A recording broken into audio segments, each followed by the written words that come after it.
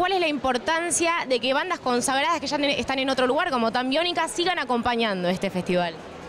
Es muy importante y habla bien de Tambiónica, de Chano y todo, todo su, grupo, de, ser agradecido a este espacio que les permitió ser hoy alguien tan referente para, el rock nacional y, y aparte dando sus primeros pasos en el mundo. Así que ellos viniendo acá son un testimonio para los demás jóvenes de que crean que acá hay futuro, acá si se ponen las pilas y le dan para adelante, nosotros le damos una oportunidad de que realicen lo que Hernán y yo nos hubiésemos muerto por realizar, que nos perdimos porque no tuvimos un, una ciudad emergente, si no yo no estaría acá y estaría por el mundo. Cantando codo a codo con los Rolling como el, verdadero heredero de, Freddie Mercury. Soy el verdadero heredero, viejo. Y por último, redoblan la apuesta año a año. ¿Alguna expectativa para estos cinco días que vienen?